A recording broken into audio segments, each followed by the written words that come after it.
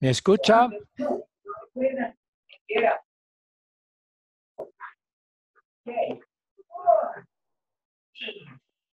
¿Sí? ¿Me escucha? ¿Me escucha? Ah, usted tiene su micrófono uh, quitado.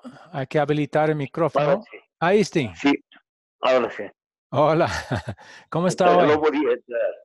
Muy, muy bien, muy bien. Ah, bueno, me alegró. ¿Usted cómo está, profesor? Sí, bien también. Gracias a Dios. Entonces, listo para comenzar.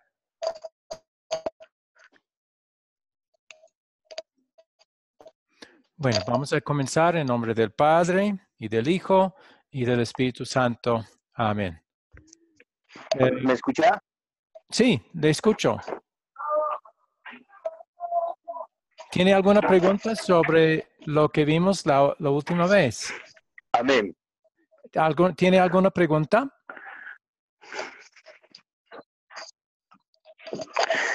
Sobre la Biblia y su propósito.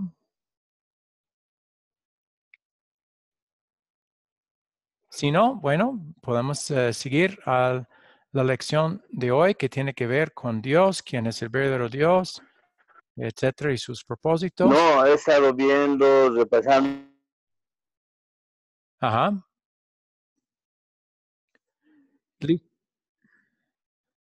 Eh, ¿Listo para la nueva lección? Hola. ¿Me escucha? ¿Me escucha? ¿Me escucha? Yo, yo lo escucho. Sí, ¿me escucha?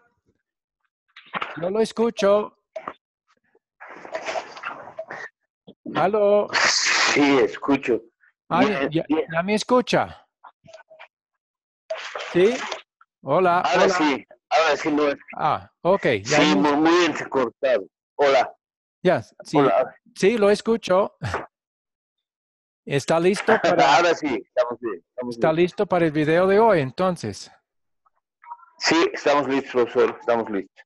Ok, muy bien. Bue- vamos a dar el video, luego hay preguntas de repaso y luego seguimos con la guía de metas.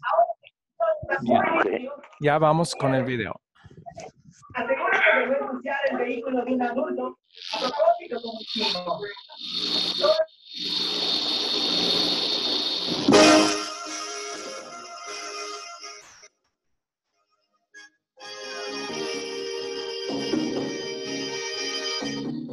En la lección antes del descanso, vimos lo que la Biblia dice de sí misma.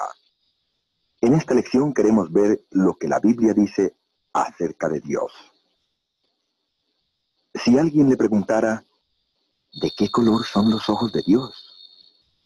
¿Cómo le contestaría? ¿Mm? Obviamente es una pregunta complicada, porque Dios no tiene ojos, ni tampoco una cabeza o un cuerpo. Como dice Juan 4:24, Dios es espíritu. Pero no debe malentender esto.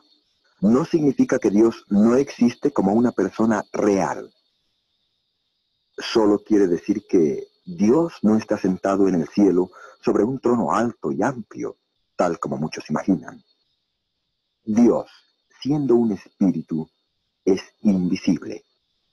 Y por lo tanto San Juan dice que ningún hombre ha visto a Dios jamás.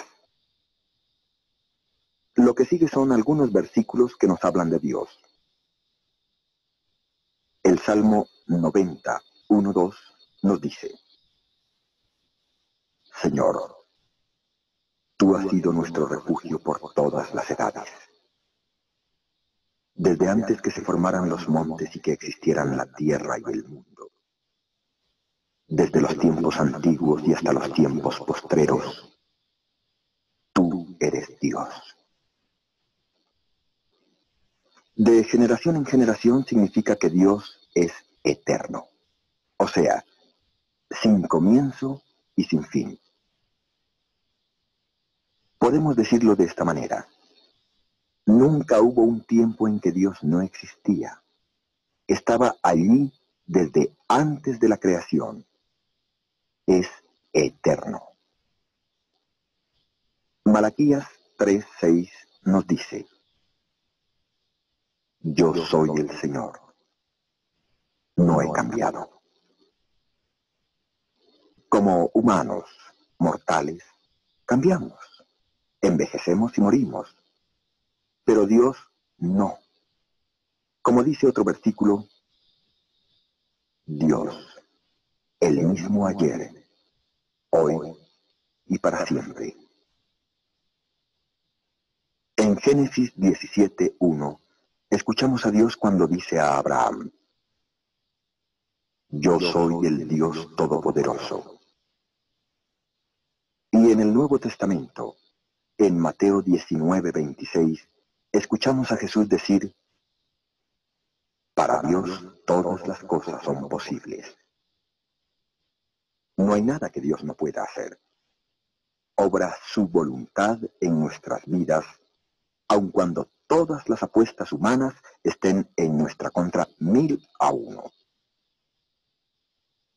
Los primeros cuatro versículos del Salmo 139 nos indican cuán bien Dios nos conoce y cuán bien conoce todas las cosas. Señor, me has examinado y me conoces. Tú conoces todas mis acciones. Aún de lejos te das cuenta de lo que pienso. Sabes todas mis andanzas. Sabes todo lo que hago. Aún no tengo la palabra en la lengua. Y tú, Señor, ya la conoces. Dios está en todas partes como leemos en Jeremías 23-24.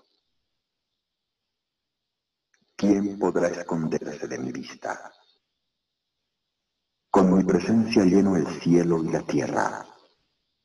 Yo, el Señor, lo afirmo. Aprendemos de Isaías 6.3 que Dios es santo. Y se decían el uno al otro, santo, santo, santo es el Señor Todopoderoso Toda la tierra está llena de su gloria. Una definición de santo es sin pecado. Dios, por supuesto, es sin pecado, es perfecto. En Deuteronomio 32, 4 leemos, Él es nuestro protector. Sus obras son perfectas. Sus acciones son justas. Esto nos dice que Dios es completamente justo e imparcial, sin considerar raza, dinero, educación o estrato social, Dios juzgará a todas las personas con la misma medida, su santa palabra.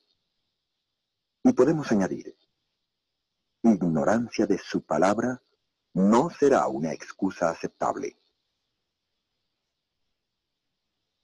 En el versículo que sigue, segundo Timoteo 2.13, vemos que Dios es fiel y que usted puede estar seguro de que guardará su palabra aunque nosotros seamos infieles. Él permanecerá fiel. Dios también es bueno.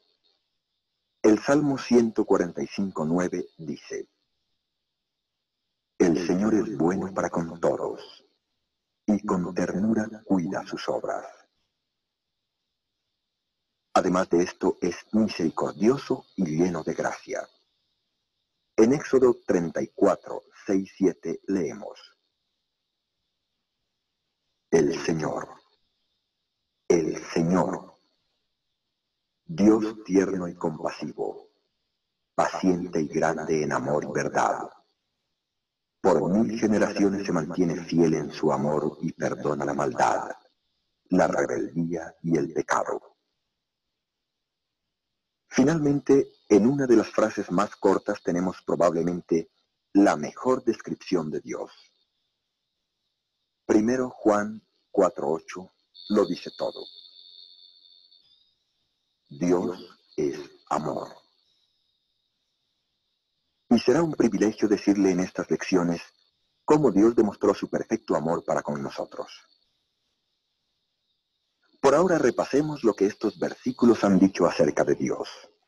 En resumen, aprendemos que Dios es eterno, sin comienzo y sin fin, inmutable, no cambia, omnipotente, omni quiere decir con todo poder, omnisciente, sabe todas las cosas, omnipresente, está en todas partes siempre presente, santo, sin pecado y odiando todo pecado.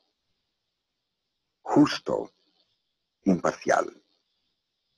Fiel, guarda sus promesas. Benévolo, bueno, bondadoso, deseando nuestro bienestar. Misericordioso, lleno de piedad. Y un Dios de gracia, demostrando bondad que no merecemos, perdonando Ya hemos visto que en muchos países las personas les oran a cientos o miles de dioses. ¿Cuán alejado es este concepto de lo que la Biblia enseña? En la Biblia, Dios se ha revelado a sí mismo como uno. Muchas veces en el Antiguo Testamento escuchamos el tema. Oye, Israel, el Señor nuestro Dios es el único Señor. Creemos en un solo Dios. Sin embargo, la Biblia claramente indica que en este Dios único hay tres personas distintas y separadas. El Padre, el Hijo y el Espíritu Santo. Encontramos repetidas veces mención de estas tres personas de la deidad. Por ejemplo, antes de su ascensión al cielo, Jesús mandó a sus discípulos, vayan y hagan discípulos de entre todas las naciones, bautizándolos en el nombre del Padre y del Hijo y del Espíritu Santo. Cuando San Pablo escribió a las congregaciones que había fundado, muchas veces terminó sus cartas con el pensamiento de 2 Corintios 13:14. La gracia del Señor Jesucristo, el amor de Dios y la comunión del Espíritu Santo sean con todos ustedes. En el Antiguo Testamento, al sumo sacerdote se le mandó pronunciar una bendición sobre el pueblo de Dios. Levantó sus manos sobre la muchedumbre y dijo, Que el Señor te bendiga y te proteja que el Señor te mire con agrado y te muestre su bondad. Que el Señor te mire con amor y te conceda la paz. Observe cómo el nombre de Dios se repite tres veces. Una vez para cada persona del Dios verdadero. Aquí vemos a Jesús a los 30 años de edad, listo para empezar su ministerio público, siendo bautizado por Juan el Bautista. El punto que destacamos aquí es que en su bautismo las tres personas del Dios verdadero estuvieron presentes juntas al mismo tiempo, en el mismo lugar y con el mismo propósito. Leemos de esto en Mateo 3, 16, 17. Tan pronto como fue bautizado, subió Jesús del agua. En este momento se abrieron los cielos y vio al Espíritu de Dios descender sobre él como una paloma. Y una voz desde los cielos dijo, Este es mi Hijo, a quien amo. Con él estoy muy complacido. Por toda la Biblia, cada una de las tres personas se llama Dios. Son descritas como Dios y reveladas como personas que hacen lo que solamente Dios puede hacer. Sin embargo, la Biblia claramente declara que hay solamente un Dios. En resumen, si tomáramos toda la información que la Biblia nos da sobre Dios y la analizáramos, La única conclusión posible es, hay un Dios, el cual se ha revelado en tres personas, pero es uno en esencia. La iglesia cristiana inventó una palabra.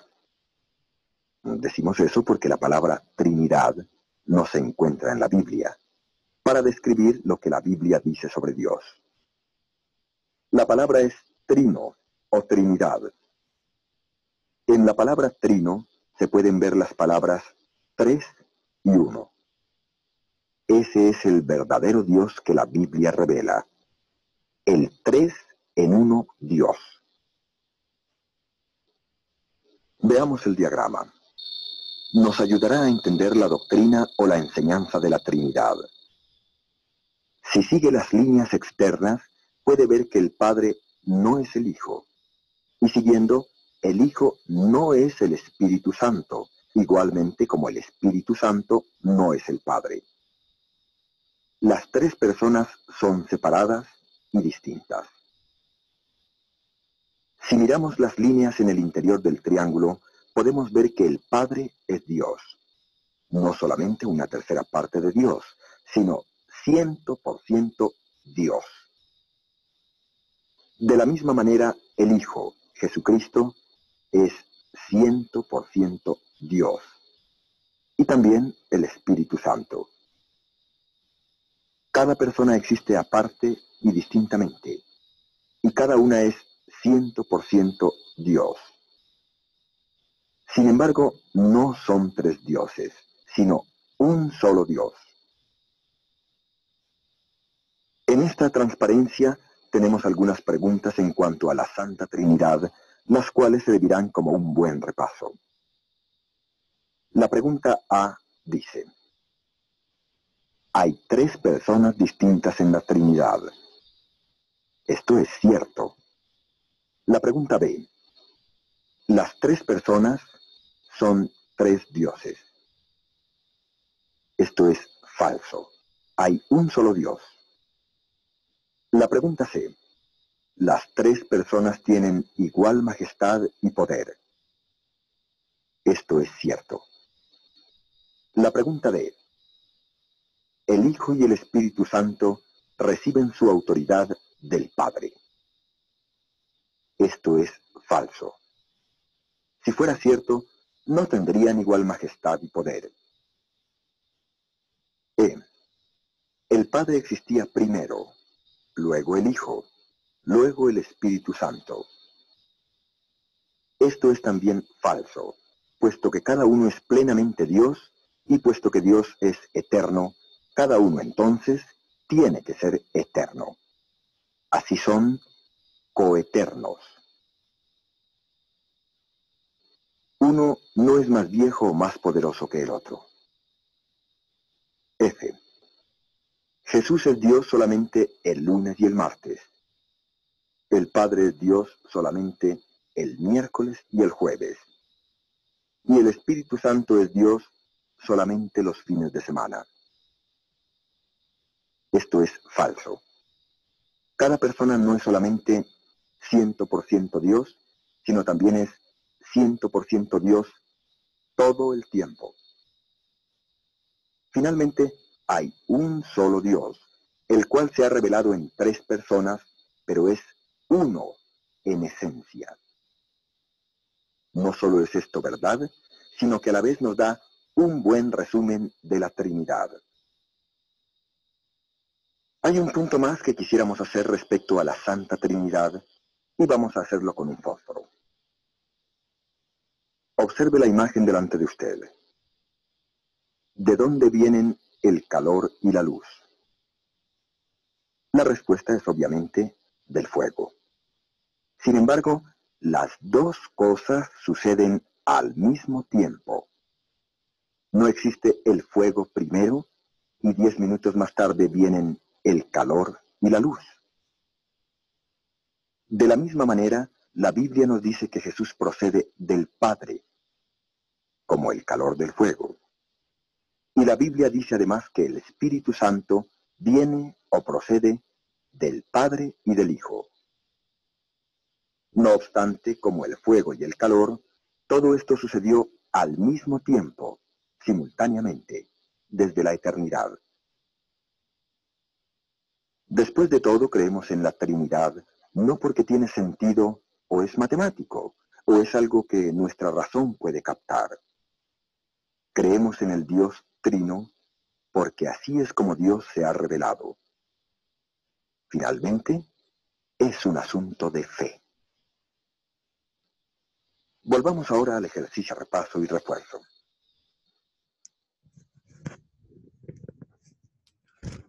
Bueno, hasta ahí esa parte.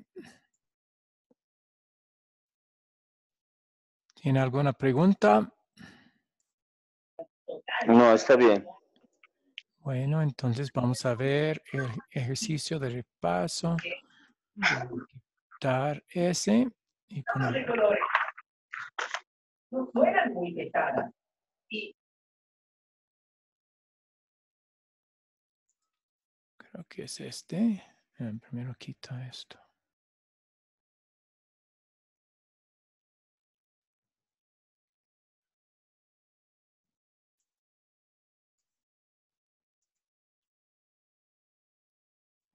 Creo que ese es. Sí.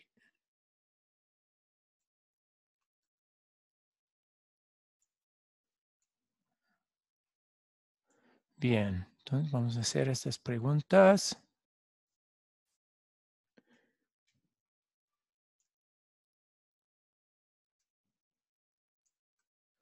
Bueno, dice, vemos en Juan 4, 24 que Dios es espíritu. No obstante, para ayudarnos a entender, a veces la Biblia habla de Dios como si tuviera un cuerpo. ¿Qué quiere decir la Biblia cuando habla de la diestra o mano derecha de Dios? ¿Alguna idea?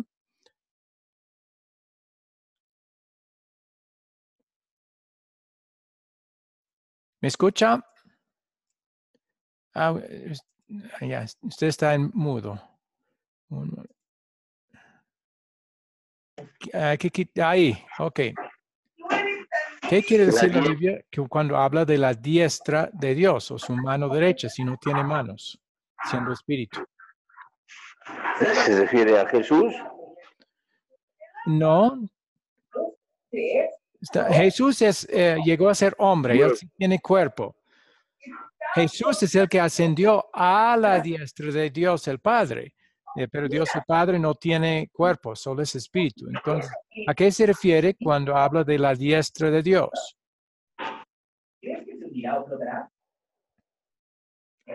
Usualmente, ¿cuál es, eh, para la mayoría de las personas, cuál es la mano más fuerte o el brazo más fuerte que tienen? La derecha. Exacto. Entonces, es. eso nos ayuda a ver que cuando Jesús subió a la diestra de Dios, está, ascendió al lugar de poder. Está sentado con autoridad sobre todo. ¿sí? Ahí- es lo que significa la diestra de Dios. Cuando significa que está hablando de su autoridad y poder. ¿sí? ¿De qué está hablando la Biblia cuando habla de los ojos de Dios, puesto que Dios en su esencia no tiene ojos, siendo espíritu? ¡Hola! ¡Hola! ¡No puedo ver! ¡Hola aquí! ¿Qué piensa? ¿Qué piensa de qué está hablando la Biblia cuando habla de los ojos de Dios? ¿Alguna idea? ¿Me escucha? De lo, no sé, de lo eterno, de lo omnipotente. No, los ojos. ¿Qué, ha- qué- qué hace uno con ojos? Mira, ve. Vemos, ¿sí? Entonces, los ojos de Dios hablan de su, de- del hecho de que Él nos, nos, nos mira, nos ve, todo, sí, ve todo, exacto. Entonces, de eso se está hablando la Biblia cuando habla de los ojos de Dios, el hecho de que ve todo. Ve. Bien, ahora, sí, número dos, ya hemos aprendido que Dios es espíritu. La Biblia también nos dice cómo es Dios. Esas características de Dios se llaman atributos. Coloque en el espacio el número correspondiente a los atributos de Dios. Y vamos a ver, eh, leer del lado derecho más bien. y entonces colocar el número uno eh, al lado del atributo correspondiente en el lado eh, izquierdo. Entonces, número uno dice, presente en todas partes, nos asegura que el cristiano nunca anda solo. ¿Cuál de esos en el lado izquierdo eh, representa esa definición? Omnipresente. Muy bien, la E, correcto. Bien. Dos, ofrece bendiciones no merecidas. Significa que él, que él perdona nuestros pecados, aunque no lo merecemos. Con estos mismos objetos, solo hunde o flora. ¿Cuál de esos en el lado izquierdo habla de recibir algo que no merecemos? Benévolo, misericordioso. Eh, hay otro, no, esos caben mejor en otro. Bueno, ¿Qué, qué palabra significa un, ah, un favor no merecido? Gracia. Eso, entonces, ¿cuál en el lado de. Exacto, esa es la K. El número dos va al lado de la K. Bien. Tres, sin pecado. Nos dice que Dios no solamente no tiene pecado, sino que también odia el pecado. ¿Cuál en- palabra en el lado izquierdo? Santo. Santo, F, muy bien. Cuatro, significa que al contrario de los humanos, Dios no se envejece ni se muere. Es el mismo ayer, hoy y para siempre. ¿Cuál palabra en el lado izquierdo tiene esa definición? Omnipresente, no, ninguno de No. los omni. No, No se cambia. envejece ni muere. Es el mismo, eh, eso, no cambia. Cinco. Sin comienzo y sin fin. Significa que nunca hubo un tiempo cuando Dios no existía. ¿Qué palabra en el lado izquierdo indica eso? Omnisciente. No. Sin comienzo, sin fin.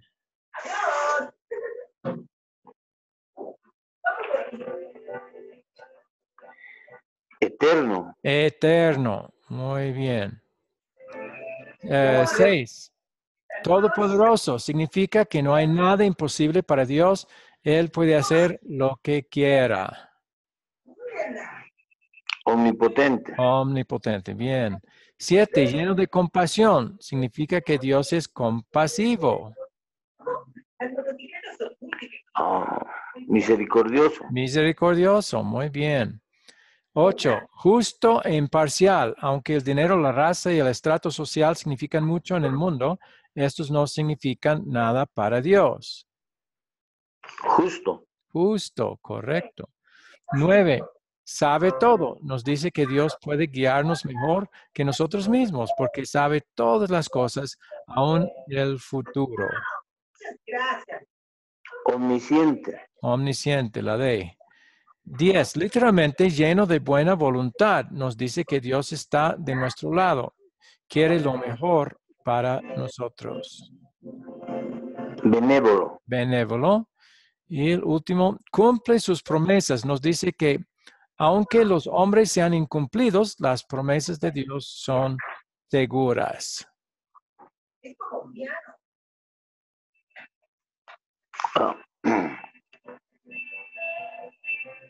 Omnipotente sería el último. No, no. Cumple sus promesas. Alguien que cumple sus promesas es un hombre, es una persona. Justa. Eh, no, otro mejor. Ya hemos usado justo. En Google. Hay solo. Fiel. Fiel, sí, es un- una persona fiel, si cumple su palabra. Muy bien, bien. Entonces, próxima. La palabra trino es una combinación de dos palabras. ¿Cuáles son, eh, eh, qué concepto describen?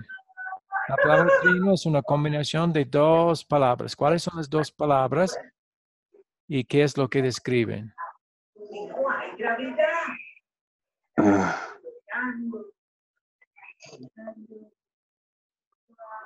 Tri, ¿qué, qué es la palabra en tri? Tres, tres, Tres. personas Tres, dos- y uno. no, uno, tres y uno. Muy bien.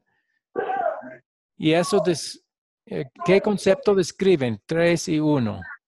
Esa es otra forma de volar.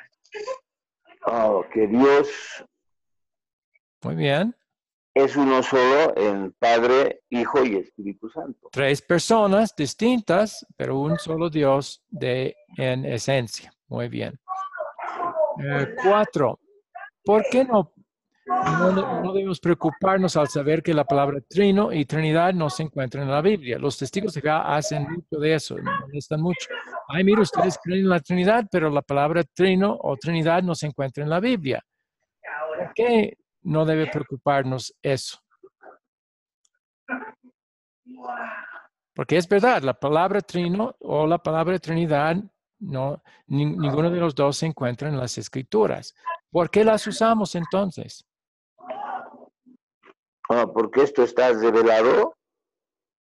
El concepto del Dios trino, o sea, tres personas distintas, Padre, Hijo, Espíritu Santo, no, no obstante un solo Dios, eh, como dice ese, eh, en mucho en el Antiguo Testamento, Jehová, nuestro Dios, Jehová, uno es. Pues la Biblia dice las dos cosas, hay tres personas, pero es un solo Dios. Entonces, la palabra trino es una palabra que nos ayuda en forma muy breve eh, indicar cómo es la- el Dios que la Biblia enseña y describe. Bien. ¿En cuál historia bíblica están presentes los tres miembros de la Trinidad al mismo tiempo en el mismo lugar? En la revelación, entonces. ¿En cuál historia bíblica? Gloria.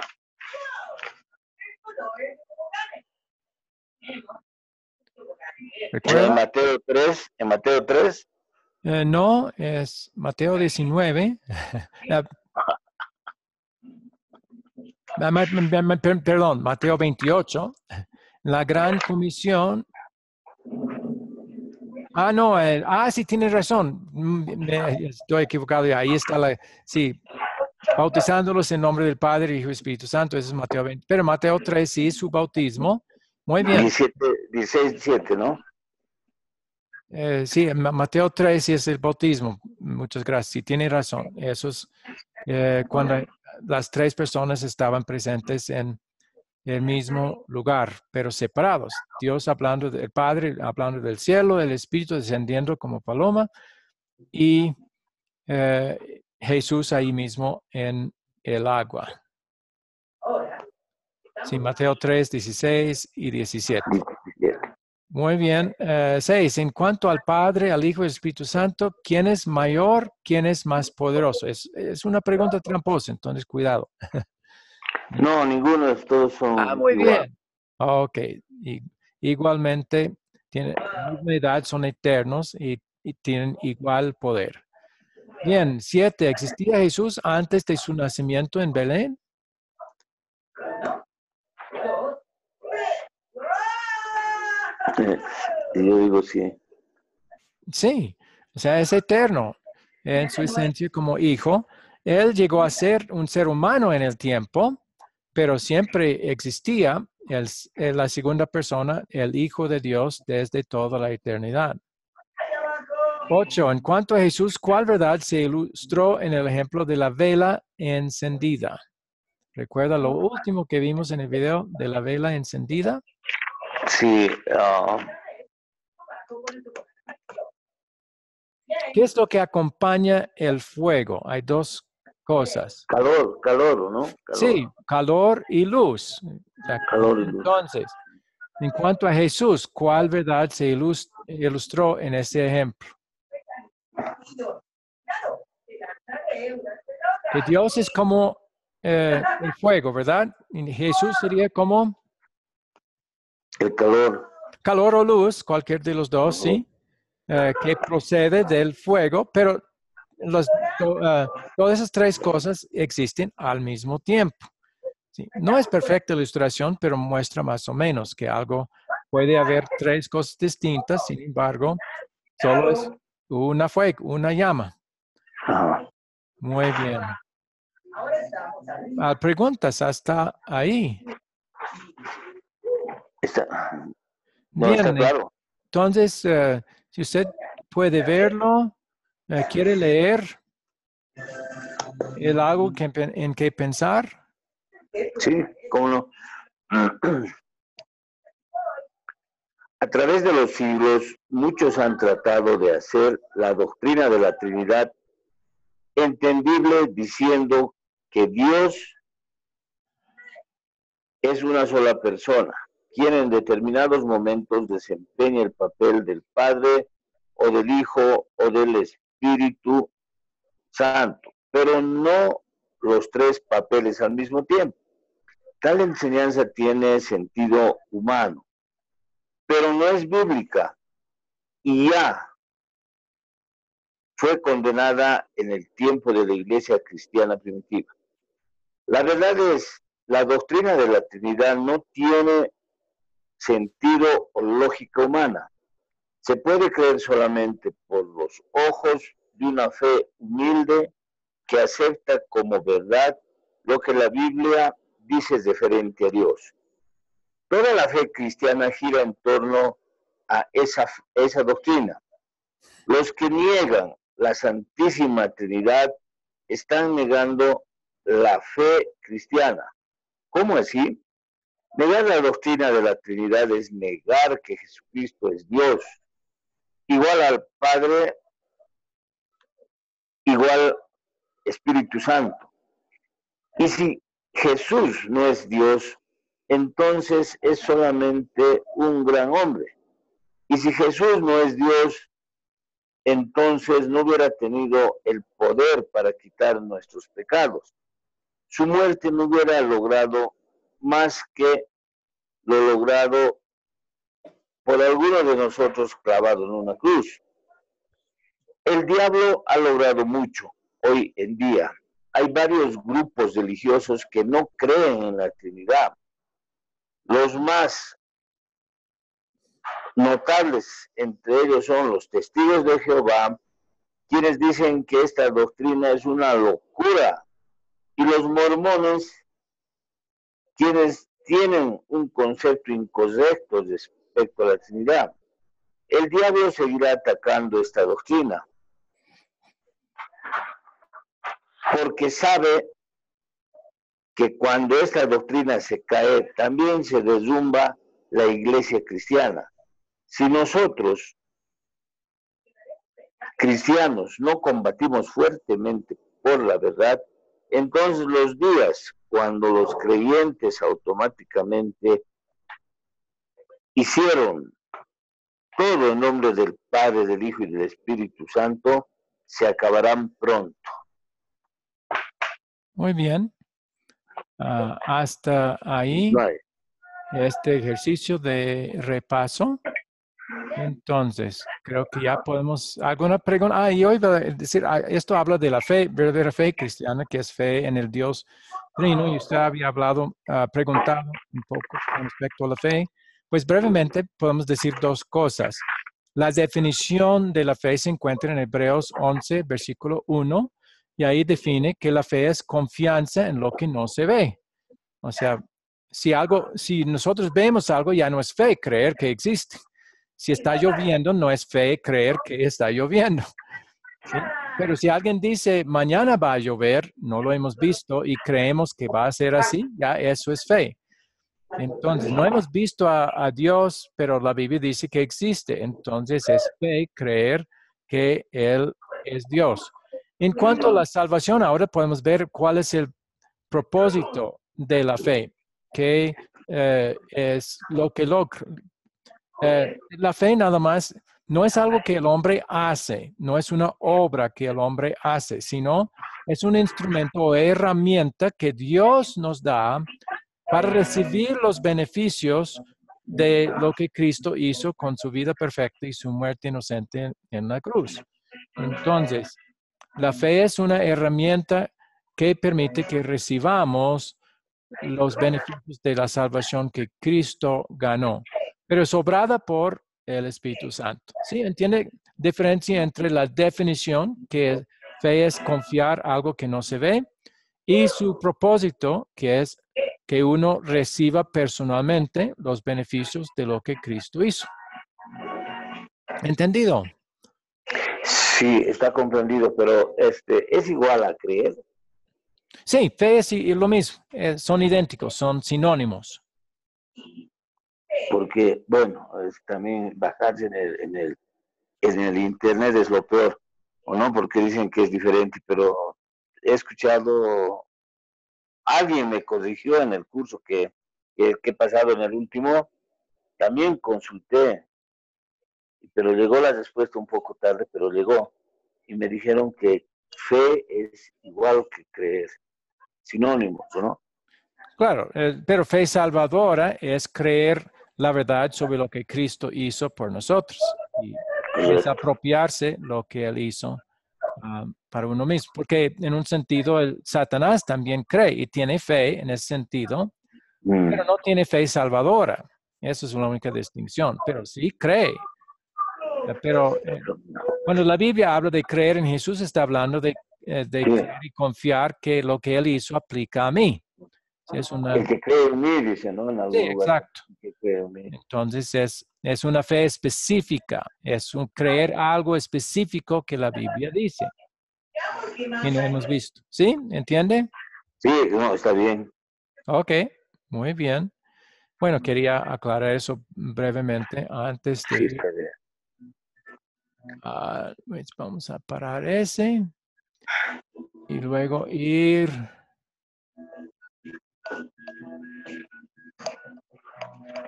A ver, ¿dónde está?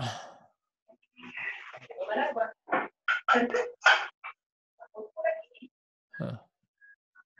No lo estoy viendo. Ah, aquí está. Ok. Ya la guía de metas. Malas noticias. Bueno, eso no es para hacer sentir culpable, es para ayudarnos, eh, para recordar cosas que hemos planeado y ver cómo, vamos. Y si algo se puede cambiar también o, quitar. eh, es, es una ayuda. Bien, vamos a, a ver las metas primero que, que ha colocado. El primero es conocer la Biblia, doctrina bíblica más plenamente. Segundo, definir la situación con la iglesia actual. Y tercero, alca- alcanzar a tres personas con el verdadero evangelio. Eh, y supuso la esposa, el hijo y el nieto. Y eso es con el fin de comenzar la cadena de discípulos. Eh, no, no dejar que el mensaje se quede nada más con nosotros y no pase a, a otros. Entonces, pues, si uno quiere servir a Dios por gratitud, una de las cosas que Él quiere es que vayamos com- comunicando y compartiendo nuestra fe con otros. Y Él ya tiene la tarea de obrar fe ah, en ellos y deseo de unirse con otros que enseñan lo, lo mismo. Bien, entonces, eh, los, ah, ¿tiene alguna otra cosa para agregar a las metas? Ah, Bueno, eh, en la meta uno, bueno, hemos seguido, ¿no? Hemos seguido estudiando cursos, gracias a Dios. Ah, ya. Sí, ya, ya son los planes, ya se ha metido en los planes. Yo- yo- mi pregunta era si quería agregar otra meta. Pero está bien, podemos ya ir a los planes. Eh, el plan para la primera meta es seguir estudiando más cursos de Academia de Cristo. ¿Usted ha podido hacer eso? Sí, sí, Ah, hemos, Muy bien. hemos pasado un curso. Entonces me imagino que va a querer que eso siga, ¿verdad? Seguir estudiando todavía más. Hasta el fin del mundo. Ah, ya. Fabuloso. Muy bien. Eh, segundo, seguir haciendo la guía de metas con el profesor Felipe, pues está haciéndolo hoy. Igual, Ok, igual. eso continúa. Eh, continúa. tercero es leer y estudiar la Biblia personalmente cada día. He estado haciendo, pero mediante eh, también Jorge de acá, ¿se acuerda? El profesor Jorge, Pastor Jorge, Briones, Jorge Briones. Aquí de La Paz. Ah. Jorge, ¿no ve? Yo por Jorge nomás lo conozco. Este, Oh, Julio. eh, Ah, Julio en La Paz. Julio. Julio, ¿no? Ah, ya, sí. Entonces con Julio hemos estado, eh, no, bueno, él, él participa ahí de algún grupo y manda algunos devocionales que están Ajá. obviamente reforzados, reforzados por, por, por, por versículos de la Biblia, ¿no? Entonces, él, él manda todo eso, es como una consolación más, todos los días manda, del Antiguo, del Nuevo Sí, Testamento. Yo, yo lo, lo recibo también. eh, sí, entonces yo, yo repaso esos versículos, digamos, Ah, de la Biblia. Me permite también entrar un, un poco en contexto, ¿no? De, de, de- porque son dos, tres, eh, cuatro, ¿no? Y son muchos versículos a veces Ah, eh, que, que mencionan, ¿no ven? Toda este. Entonces voy leyendo de esa manera, creo, eh, la Biblia. Me pongo en contexto más de lo que Bueno, está bien. Eso es algo, sí. Muy bien. es- es- eso, de esa manera hago. Entonces me imagino que quiera que ese plan siga en, aquí en la lista Sí, de los planes. Muy bien. sí, Bueno, sí. entonces creo que podemos pasar, a menos que quiera poner otra cosa como parte del plan para conocer la doctrina bíblica más plenamente, o quiere quedarse con esos tres. Sería bien, a no ser que usted me sugiera algo. Eh, Bueno, a- además de leer los devocionales de Julio, bueno sería también, pero, pero eso es para usted determinar, es leer simplemente por- porciones de la Biblia cada día, un capítulo, dos capítulos. Y si tiene pre- preguntas, anotarlas, ¿sí? Ah, hacer una marca donde algo que no entiende, o, o pongan, no entiendo en el- la margen, algo así también. Porque puede ser que más adelante, al seguir leyendo, otra cosa en la Biblia derrame luz sobre lo que no ha entendido y le ayude a entender más Ah, al principio no entendió.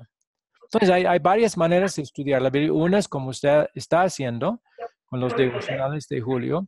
Otro sería, otro muy bueno, simplemente leer una porción cada día y hacer notas en las márgenes o tener una hoja aparte y hacer notas eh, sobre lo que está leyendo y cosas que no entiende, eh, cosas así. Sería también bueno eh, para conocer la doctrina bíblica más plenamente.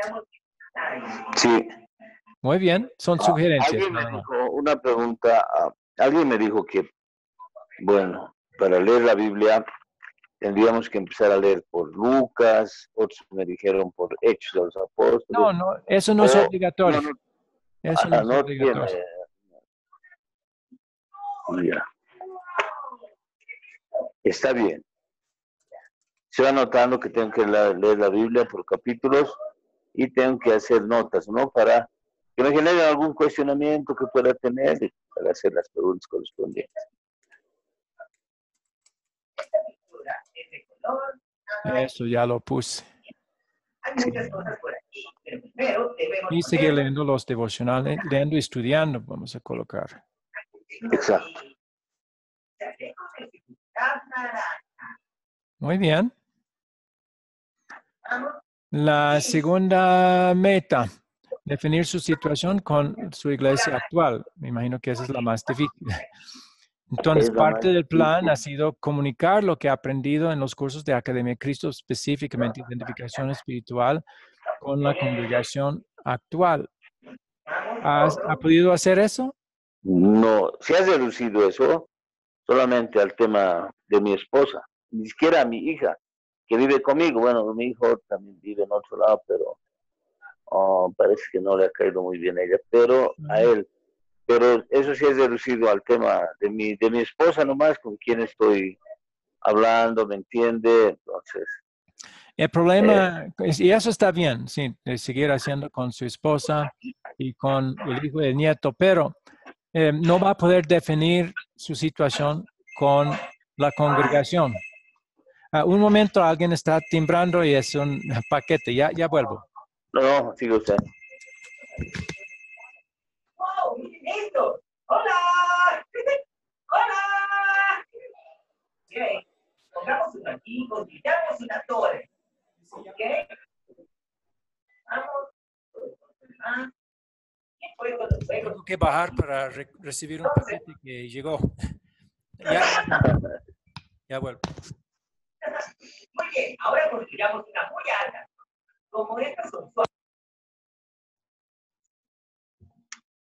Vamos. Una gran torre azul. Ok. Aquí vamos. Y para el toque final. Esta hermosa cosa de arriba. Hola. Hola. ¡Wow! Muy bien, vamos a ver qué otras cosas hay. ¡Hey! Miren dónde estamos ahora. Esta es la óptica.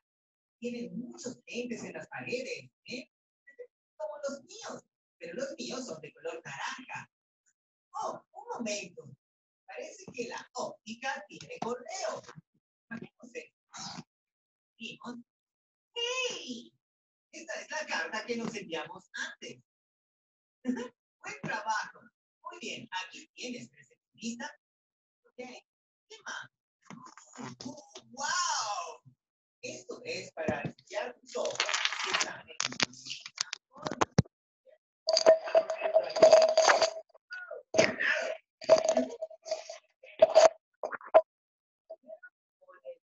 Bandilla justo aquí, de esta forma.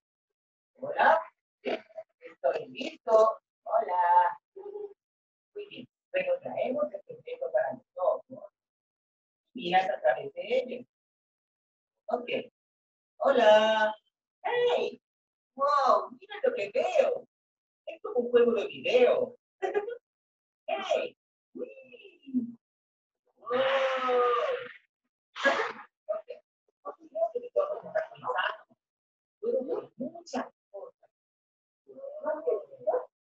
¡Hey! ¿Qué es lo que veo ahora? Unos lentes. Uy. Hey, ¿cuál sería nuestro ver con mi celular. No. ¿Yo qué jugar? Con el- No. color. Bueno, este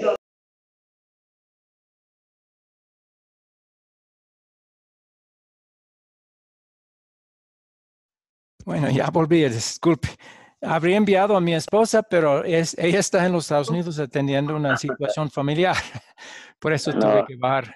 Si no, lo habrían llevado. y Otra vez de retorno. Era de Federal Express. Bueno, ok.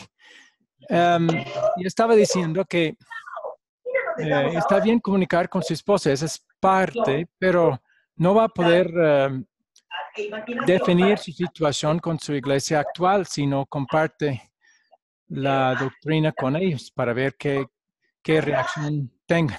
Aunque sé que su esposa y hijo y nietos son parte de la congregación también, pero necesita- si va a definir, va a necesitar comunicar con los líderes de la iglesia. ¿Entiende? Sí, no, perfectamente, perfectamente la comprendido. Algo que ayuda, que sugieren los que han diseñado esta manera de hacer planes, es colocar fechas eh, como parte de la, del plan. Eh, tiene una fecha en la cual ya va a querer tratar de comunicar ah, algo de la doctrina en identificación espiritual. No, no, no, no, no, tengo, lo voy a preparar más. Listo, y lo voy a, lo voy a presentar nomás, lo voy a presentar así. Eh, pero, o sea, una fecha puede ser tentativa. Estamos en el 8 de marzo en este momento.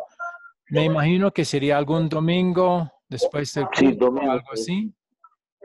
De aquí unos dos domingos, dos domingos. Ah, bien, entonces para el 17 de marzo. Sí, 17. Ok. Es- eh, eso no es obligatorio, son, sol- son cosas que ayudan a uno a... Sí. No, voy a proponer, estoy en eso. Claro, siempre hay que estar fortalecido. Un día de esos han hablado, como les digo, de, de fe y, y creer. Y si uno no, no tiene cierto elemento, también no ve, queda mal. O sea, Sí, pero, pero cosas importantes para eh, compartir con ellos son- serían sobre el bautismo de infantes. Eso es algo que aprendió en el curso de identificación sobre la Santa Cena y sus beneficios, Si hay necesidad de repasar eso, usted mismo puede hacerlo. Eh, y sobre el milenio, que, que muchas iglesias reformadas creen que Jesús va a volver para establecer un reino terrenal y que habrá un rapto, eh, una venida invisible de Jesús, todo eso son cosas falsas. Entonces, eh, eso para el bien de ellos necesitan ver. Claro, ellos podrían rechazar y muchos rechazan esa, esas enseñanzas bíblicas, pero serían muy importantes para, para ellos, para usted poder definir su situación, porque usted ya sabe que Dios ha dicho en Romanos 16, 17 que Dios quiere que cuando hay una congregación o individuos que permanezcan en, en sus enseñanzas falsas, que uno Dios quiere que nos separemos de ellos, no siga, no siga, porque seguir con ellos no es amor en ese caso, es enemistad, es dejar que sigan creyendo cosas que son peligrosas para la fe. ¿Sí me entiende? Eso es difícil, yo sé que entender que enfrentar a personas con doctrinas falsas es amor, pero la Biblia lo describe como eh, amor. Jesús no nos pide hacer nada que no es por amor. ¿sí? Sí. Muy bien, entonces eh, eh, sé que su plan es seguir con la intención de hacerlo ah, y eso es ah, fabuloso. También usted ha indicado, va a seguir invitándoles a, que tomen cursos con Joel, o sea, cursos de Academia Cristo. Eh, ¿Eso ha hecho con ellos, con los Mire, mm, Claro, no, con mi familia. Mire, en, realidad, ¿cómo es la cosa? O sea, es una, es, podría decir es un sabio de, de, una congregación que ha existido. Claro. te había comentado, ¿no? El pastor se fue por motivos de trabajo, etcétera, se fue a ah, Entonces aquí se quedó ya como nuestro líder, el, hijo, o sea, mi sobrino, aquí somos familia en realidad. Y eh, bueno, aparte de eso, son, es mi familia, mi, mi esposa, mis hijos, y aparte van, bueno, algunos otros señores, muy pocos, que iban hace años, cuando había la congregación. Entonces, mi congregación o, a la que asisto, en realidad se reduce a, a leer la palabra, la palabra, no sé, eh, él escogerá algún versículo, algo le mandará el, pastor de Cochabamba, no tengo idea. Y se reduce a eso los días domingos. Se, se reduce a eso. Entiendo. Eh, entonces, pero podría con su sobrino mostrar mostrarle, darle una copia del curso de identificación espiritual y ver qué dice. Eso voy a hacer. Voy a hacer, voy a preparar, ya está dicho, es, está dicho. O sea, y si no, pues eh, tampoco yo um, voy a, ¿qué se llama? Uh, voy a estar arriesgando, como, como usted dice, son cosas peligrosas para la fe. Yo no quiero distanciarme están estando ahí adentro, porque yo voy a pensar una cosa, ellos otra cosa. Entonces voy a tomar nomás yo la decisión. Si no me hacen caso, pues yo les voy a demostrar con la palabra de, Dios y todo, les voy a demostrar que eh, lo que yo digo es, verdad, no lo que yo digo, sino tiene sentido. Y si no me van a creer, bueno, también me tengo que salir nomás, como dice sí, Sí, exacto. Pero ahí puede unirse otra vez con la congregación nuestra. Ahí Donde Julio, sí, sí. No, no, eso está dicho. O sea, como el tema es, bueno, no estoy anteponiendo mi familia a Dios. Dios es para mí lo más, ¿o no? Muy bien. Pero como al, medio está, está mi, esposo, no estoy anteponiendo, aclaro. Eh, estoy queriendo extremar todos los esfuerzos, todos, todos los esfuerzos para que eso vaya por buen camino. Sí, y si no, pues también ya tomo yo, ya, yo ya sé lo que voy a hacer. Si no, muy bien. Ya ni, modo, ahí nomás, ¿Cómo, se llama su sobrino que está allá como el líder de la congregación? Joan. Joan. Joan, Joan. Es un joven. Ah, ya. Joan. Así se escribe, J-O-H-A-N. Ah, sí, Joan. Ok, muy bien. Voy, a colocar eso, o sea, comunicar lo que ha aprendido de identificación espiritual con la congregación actual, comenzando con su sobrino Joan. Y una fecha que ha- hemos colocado es el 17 de marzo, que otra vez, eso no es obligatorio, no es absoluto, pero ayuda que uno lo tenga en mente, ¿sí? Con la intención de tratar de O hacerlo por ahí, fecha. o, o por ahí le, le hago conocer, le envío, digamos, este, este material eh, de identificación personal al pastor, ¿no? Al, al, al- al pastor que está en Cochabamba, porque al final él sigue siendo el pastor. Viene Ah, al mes una vez, y por ahí Claro, también en vez pues seguramente el- nuestro líder ahora le va a enviar a él para decirle Sí, también. Claro, si no está, es más difícil, sí. Eh, lo- pero sí puede ser con otros que están ahí mismo para ver qué, qué dicen, qué creen. Qué fabuloso sería que si todo el grupo eh, se ponga de acuerdo con, con lo que usted ha aprendido y pueda unirse con, con nosotros. Fabuloso sería. Pero eso no va a pasar si usted no lo... Usted es el único que puede compartir con ellos lo que, sí. lo que usted Voy a sabe. intentar. Con identificación espiritual no he intentado. He intentado con M. Cristo. Eso. Con eso he intentado. Les ha parecido bien. Todo eso, pero una sola vez. Ya, pero sobre todo la parte sobre los, las iglesias evangélicas. Ser- Sí, preguntarles muy específicamente sobre el bautismo de niños, sobre la Santa Cena, sobre la conversión, si es obra nuestra o es obra de Dios.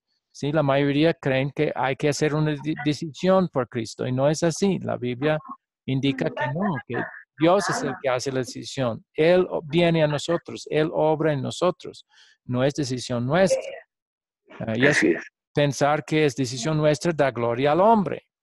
Entonces, esas son cosas que puede específicamente, no solo preguntar al ver el, el video, ¿qué le pare, ¿cómo le pareció? Ah, más o menos bien. Eh, No, hay- hay- es importante hacerles preguntas específicas, ¿sí? Correcto. Sobre Sí. esos temas. Ajá. Muy bien. Bueno, siga intentando. Le animo, ¿sí? Ah, Gracias. No, no depende el favor de Dios de que usted lo logre o que cumpla, porque su, el favor de Dios ya Cristo lo logró, ya lo tiene gratuitamente. Esas son cosas que Amén. Dios espera que luche para ser por gratitud a Él, no para ganar su favor. Viene la tercera meta era alcanzar a tres personas con el breve evangelio. eh, las tres que ha mencionado, vamos a agregar su sobrino con eso, ¿sí? Voy a- Ya. vamos a poner cuatro personas. pueden ver cuánto pesa. Bien, aquí vamos. Up. Vale, está muy bien. incluyendo su sobrino. Muy bien. Y en la mitad, entre uno, Ya también se incluye en la segunda meta. 1.5 libras. Bien, también los recibirán continuamente en casa. Bueno, eso es lo- la mejor manera es que ustedes mismos, usted mismo les enseña directamente a intentar enseñar ese curso de sanidad e identificación. Bueno, ahora, o sea, además de los que están en su casa, vamos a agregar a su sobrino. Eh, para que él tenga la oportunidad también de, de ver. Sí. Sí.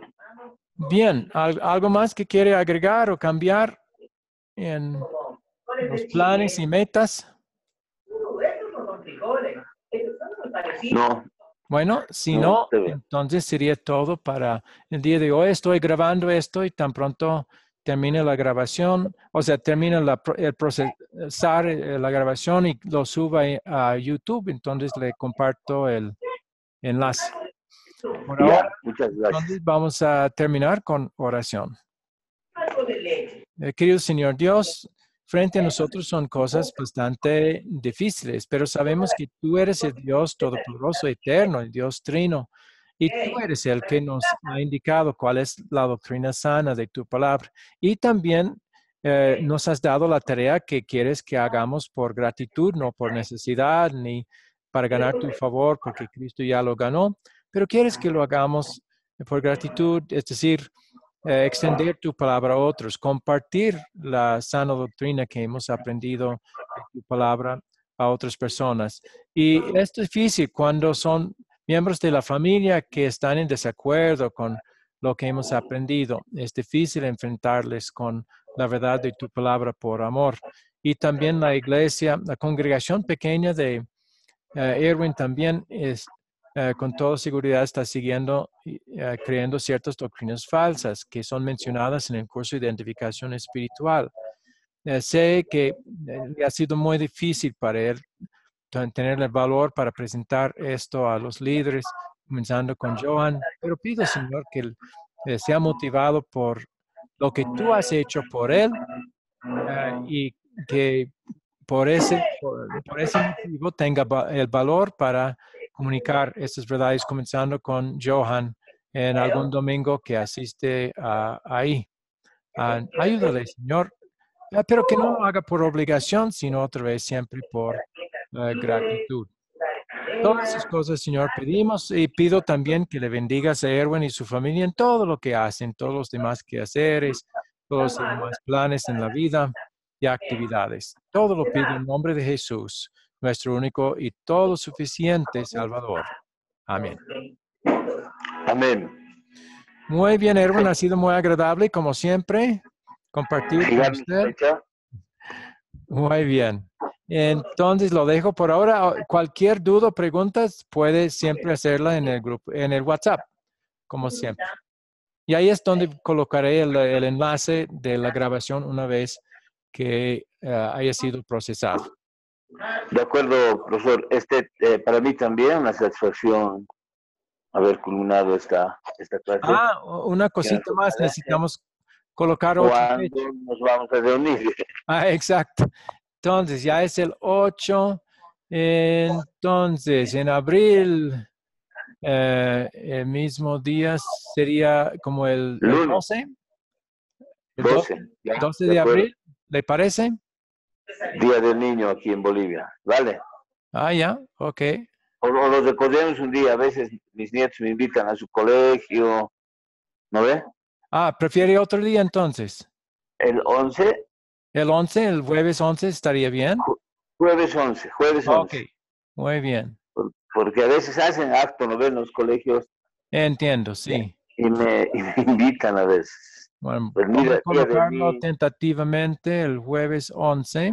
Entonces, pero el día antes eh, estaré confirmando como he, eh, como he estado ah, haciendo. Jueves 11 a las 11 hora boliviana. Sí, si quieren. Para mí está bien esa hora aquí a las Ya, 10, ya. pero, pero ¿Está bien? Muy bien. problema. Ok. Ya está colocado mi calendario. Sería hasta ese día o antes si tiene alguna duda, si quiere comunicarse por cualquier, por con cualquier motivo o problema, Con seguridad. puede hacerlo. Con seguridad que vamos a tener ese contacto, profesor. Ok. Muy bien, Erwin. Que Dios le bendiga ricamente. Igualmente, bendiciones, pastor. Ok. Hasta luego. Hasta luego.